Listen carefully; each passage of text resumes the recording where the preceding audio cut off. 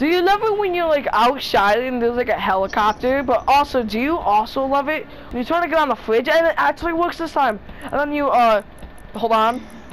Then you uh get the, all the candy from on top of the fridge and then you get stuck in the ceiling because logic.